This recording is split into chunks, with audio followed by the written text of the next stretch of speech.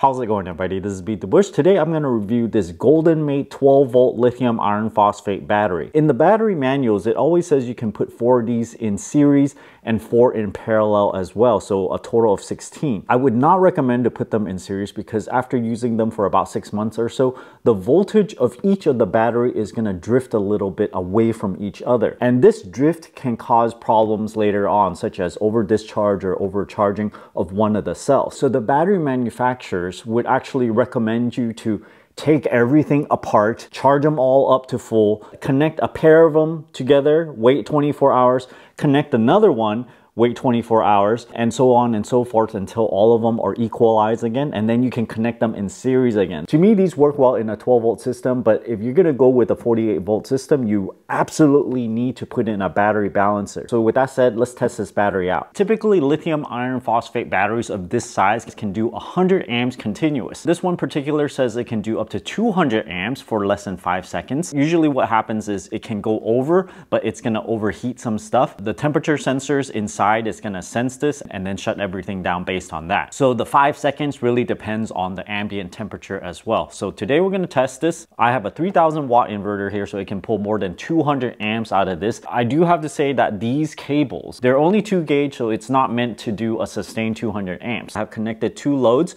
which are power stations and I can vary the load so that I can reach that 200 amps. Let's turn it on. 29 amps so far. I'm gonna increase the load. We're at 170 amps. Let's increase it further. 200 amps. Okay, a few seconds it turned off. So I'm gonna turn this guy off. Let's do that again. 34, 60 amps, 90 amps, 180, 186,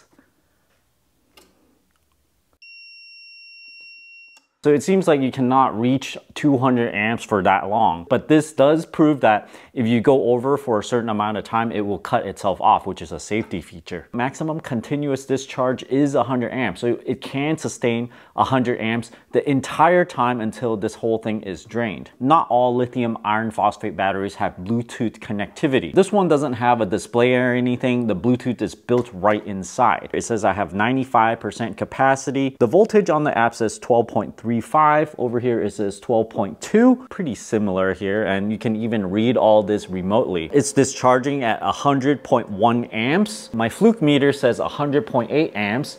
This little cheapy thing says 100 amps. So they're all pretty in line. The power is minus 1,239.9 watts. And based on the current discharge rate, it's gonna say how long it's gonna last, which is 0.8 hours. At the bottom, there's a temperature reading either in Celsius or Fahrenheit. So I'm gonna go to Fahrenheit. It says MOS temperature, which are the FETs that's inside. Those are the solid state switching elements that connects the output to the battery. This entire 100 amps is running through those MOS transistors and you can see it says 80.6 Fahrenheit.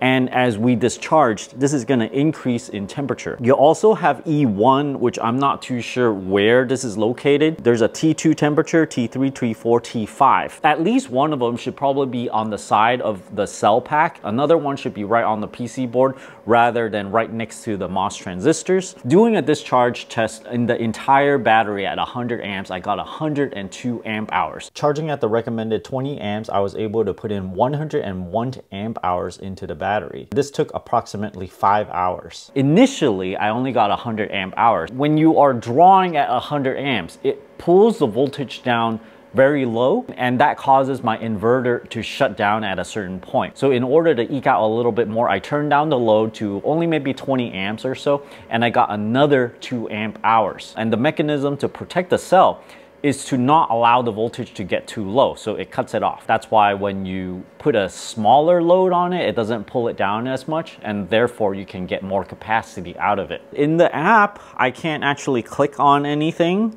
It just shows one page of all this information. I'm gonna turn off the load now, pull these off. I have a lithium iron phosphate charger here. Let's start charging this. Notice that in the app, the discharge state is turned off now because we're not discharging it anymore. And let's see if the charge state is gonna turn on when we connect this. Okay, it's charging at 20 amps and right away the charging turns on and it says it's charging at 19.1 amps, 257.9 watts, and then it'll take another 1.2 hours to fully charge it from the current state. Let's modulate this charging speed to let's say half want 10 amps only. And in the app, it says 10 amps also. So this is a very nice way to remote monitor your battery pack. If you installed it, let's say in somewhere hard to access, you can still see what's going on with each battery. That's enough testing just from the external of this thing. Let's open it up and see what's inside. There's a bit of residual energy in here, so we have to discharge that. We can measure with the inrush function on this meter, like this. 8.7 amps just flowed through instantaneously. The resistor value on this is pretty low. Actually, my leads are 0.1. So this is like a 0.1 ohm resistor. Now that it's discharged, I can check the inrush current when I reconnect the battery. Let's see. Right there, 11 amps. Now let's not use this pre-charge resistor to limit the current. I'm gonna discharge it. Watch out, it's gonna spark with no discharge resistor but then it still says only 11 amps. So I think the inrush might be too fast for this meter. That's interesting. Look at what happened to the bolt here. It kind of melted it a little bit from all that current. So you don't want to do that too often or else you're going to ruin your bolts. And then you look at the cable lug. It's charred a little bit. It didn't get damaged too badly at the metal level. At the top, there are eight screw plugs. One, two, three, four, five, six, seven, eight. I'm pretty happy about that, so I don't have to pry anything open. I hope it's not glued together. Recycling signs over here. The other side. The bottom has actual rubber feet. Many times it's just plastic. Here's a look at the label. 100 amp discharge current made in China. Plugs make it IP67 rated. But then these rubber gaskets might wear out and it might become not IP67 rated. I can remove this little band. You don't have to have this on here. Don't try to open this thing up yourself because it's very dangerous. If you accidentally get these cables connected, there's no safety to prevent maximum discharge of the entire battery and things will explode. The seal usually goes around the screw holes because those could be entry points for water. We saw earlier that they're plugged up by these on this side. So even if water goes through here, it would effectively go through this hole, but that doesn't really go inside the main chamber, so we're okay. These plugs are most likely just to protect the screws so they don't sit in a pool of water and rust away. Notice right here it says GoldenMate, so this is their own BMS, their own PC board. Usually they buy the Bluetooth module and solder it right onto their board. They doubled up two 8 gauge cables that are 200C capable on both the positive and negative side and this feels kind of like silicone glue, so I think they put it on all these terminals here on all these screws to protect it from being opened. Interestingly though, they didn't put it on all the screws. These four over here are not glued up. The screws on the battery terminals are not glued up. There are four temperature sensors. It says NTC1 here for one pair of wire, NTC2,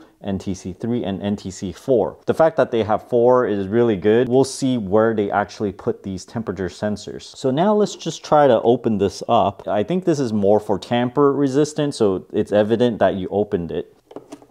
This is the B minus terminal and this is the B plus and there are four cells in series and they need tabs between each cell in order to balance those cells. So you have B1, B2 and B3. These points will be in between the cells and these will sense the voltage and do the battery balancing. It's interesting that it's a tab coming out of the battery itself soldered right onto the PCB. It seems like it doesn't want to come out until I remove these screws as well so let me do that. When I was removing these tabs, I don't want them to sort of get tilted and then it'll touch the heat sink here and it might short something out, especially the positive side, making sure nothing is shorted. There we go. These tabs connect to all these five cells and all the way down. And in turn, it gets connected to this pack and this pack gets connected over here to this pack. And then this pack connects to this one uh, through this interface here. And each of these cells looks like it's five across and probably five downs. However, I cannot see any markings on them right now. All of these tabs are most likely spot welded on. So I've decided to not open it further.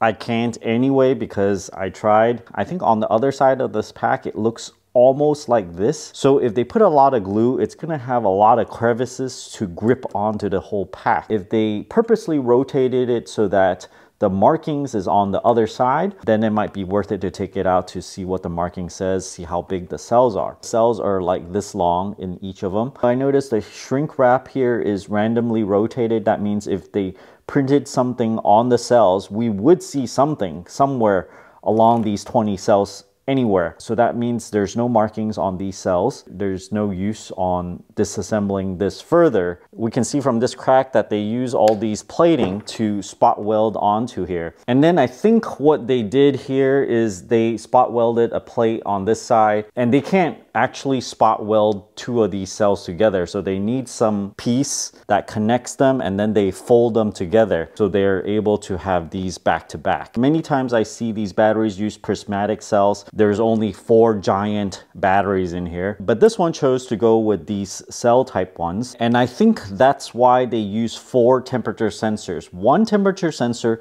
in each cell pack. So likely each of these temperature sensors is like right in the center of one of these. Comes with the user manual, these lugs, but in order to use them, you need a proper crimper and you need the proper wire size to put in these lugs. It says SC25-8 which means it can handle a 25 millimeter cross-section wire. I'm measuring 7.2 millimeters in diameter, and the ring hole should be 8 millimeters, slightly bigger, 8.3 millimeters. Overall, the capacity is verified.